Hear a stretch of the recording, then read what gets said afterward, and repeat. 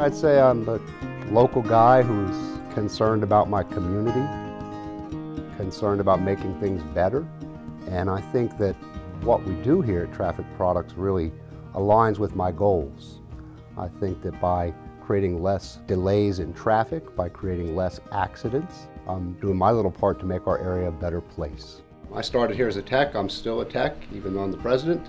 I still go out and fix things, so we try to really ensure that what we're sending out is, uh, is going to run as expected and not have any problems. In Pennsylvania in particular, we tend to be very slow to adopt to technology.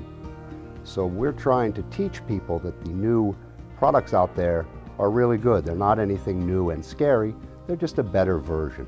And how we work with AI, for example, the communications now being cellular, way better than the old fiber optic method. And we're trying to convince people of that, that, that hey, move up, come to the next level with us. A lot of municipalities will spend tens of thousands of dollars for these school beacons and put a 20-year-old technology push button dial clock that's in there. Flip them on in September, flip them off in June, and that's it. And that's not really how they're designed to work. Now with technology, we can use this right on our phone or our iPad and instantly make those changes to make these beacons work the way that they should work. You log into Glance and you pick the device that you want to manage. All the programming is there. I, literally could change a whole school district worth of stop, start and stop times or days off with about three minutes worth of work. It, it's just an incredible tool.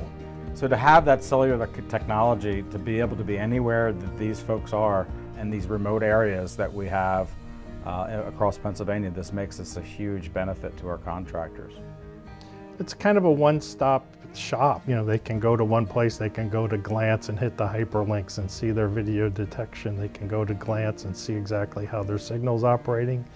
They can program the controller from the front panel sitting in their living room. For the traffic signal side, I think really the main benefit is the, the connective intersections for preemption and emergency vehicles. We need to be able to have GPS in all of these vehicles allows them to get that traffic flushed out before they even get there. The other thing I like about applied information is the company's small enough to address our concerns.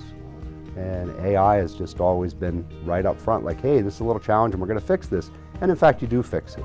Applied information are just a lot more nimble to respond to customer requests. Because if we wait three years, everybody else has it, and then we're just a me too. And it's developed into a really a great partnership for us. The products and the vision is just incredible. Word's been getting around to other municipalities that what we're doing is really helping folks. You're going to be left in the dust if you don't embrace this technology. So I think it's here to stay, and I, am really looking forward to seeing what kind of new products we can integrate with AI. And we want to be out front, and applied information has always helped us to get to that position.